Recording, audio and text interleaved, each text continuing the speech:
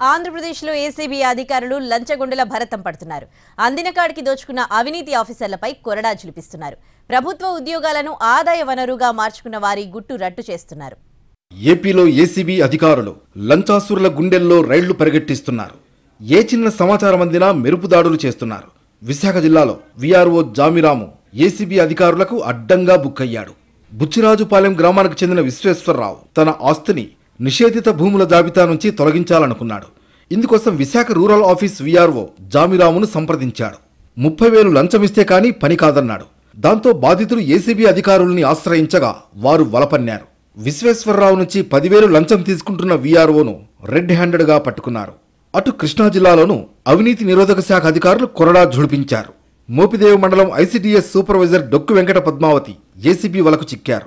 పెద్దకళ్ళేపల్లికి చెందిన లావణ్య అనే మహిళ అంగన్వాడీ పోస్టు కోసం ఐసీడీఎస్ సూపర్వైజర్ వెంకట పద్మావతిని సంప్రదించింది. ఆమె పదివేలు లంచం డిమాండ్ చేయడంతో బాధితురాలు నేరుగా ఏసీబీని ఆశ్రయించింది.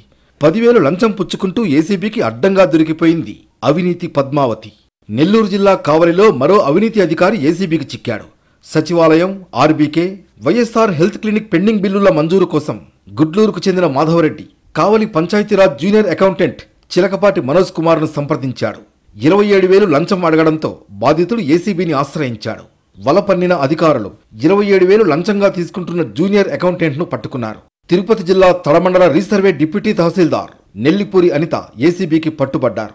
కడలూరుకు చెందిన ప్రవీణ్ కుమార్ తన ఇంటి నిర్మాణం కోసం ఇరవై చెట్లు నరికేందుకు అనుమతి ఇవ్వాలని అనితను సంప్రదించాడు.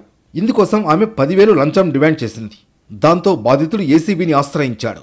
ప్రవీణ్ కుమార్ నుంచి పదివేలు లంచం తీసుకుంటున్న రీసర్వే డిప్యూటీ తహసీల్దార్ అనితతో పాటు వీఆర్ఏ శంకర్ను రెడ్ హ్యాండెడ్గా పట్టుకున్నారు.